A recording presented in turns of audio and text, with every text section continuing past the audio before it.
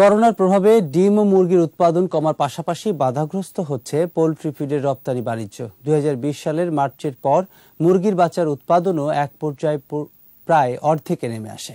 মাঝের কিছুটা সময় ভালো থাকায় ঘুরে দাঁড়াচ্ছিল পোলট্রি খাত, কিন্তু করোনা পরিস্থিতির আবারও অবনতি হওয়ায় ফের ঝুঁকিতে শিল্প। পোলট্রি শিল্প নিয়ে তহিদুর রহমানের পাঁচ পর্বের ধারাবাহিক রিপোর্টের আজ তৃতীয় পর্ব। দুই সালের মার্চের আগে দেশে সপ্তাহে পোলট্রি মুরগির বাচ্চা উৎপাদন হয় গড়ে দুই কোটি পঞ্চাশ লাখ। করোনা পরিস্থিতির অবনতি হলে এক পর্যায়ে তা এক কোটি চল্লিশ লাখে নেমে আসে। তবে গেল বছরের শেষ ও চলতি বছরের প্রথম কয়েক মাসে আবারও বাড়তে শুরু করেছিল বাচ্চার উৎপাদন। উদ্যোক্তাদের মাঝেও ফিরছিল স্বস্তি। কিন্তু আবারও করোনা পরিস্থিতির অবনতি হওয়ায় সংকটে পড়ার শঙ্কায় উদ্যোক্তারা। গত ছত্রিশ মাসের হিসাব শুধুমাত্র সাত মাস উৎপাদন খরচের চেয়ে বেশি দামে খামারিরা বিক্রি করতে পেরেছে।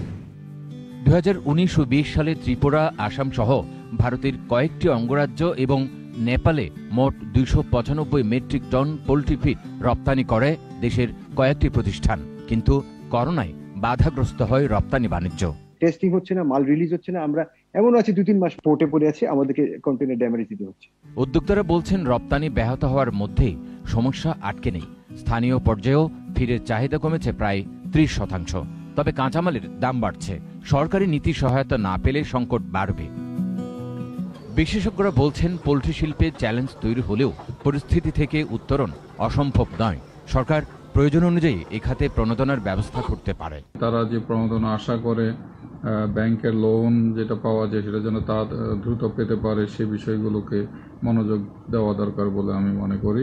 পোলট্রি শিল্পের উন্নয়নে সরকার কাজ করছে জানিয়ে উদ্যোক্তাদের পাশে থাকার আশ্বাস দিলেন প্রাণী সম্পদ মন্ত্রণালয়ের সচিব। করোনাকালে আমাদের খামারিদেরকে পাঁচ পার্সেন্ট সরল সুদে লোন দেওয়া হয়েছে। এর বাইরেও প্রায় ছয় লক্ষ বিশ হাজার খামারিকে আমরা নানাভাবে প্রণোদনা দিয়েছি।